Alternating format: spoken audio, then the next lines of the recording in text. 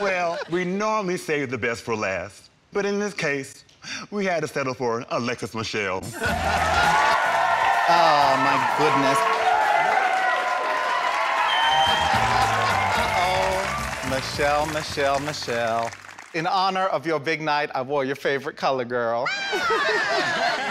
we have so much in common. We have the theater running in our veins, Michelle.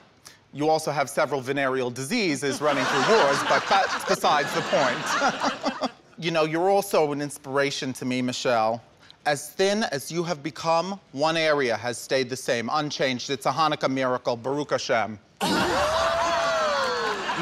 Fortune, you also know about playing second fiddle. You've been playing bull dyke to Chelsea Handler's Alcoholic Wasp for ages now.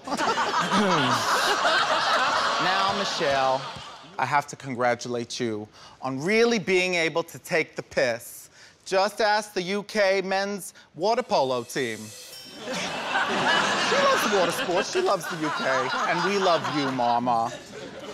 Thank you, ladies and gentlemen. It's been real. Good night, everybody. This is a happy ending.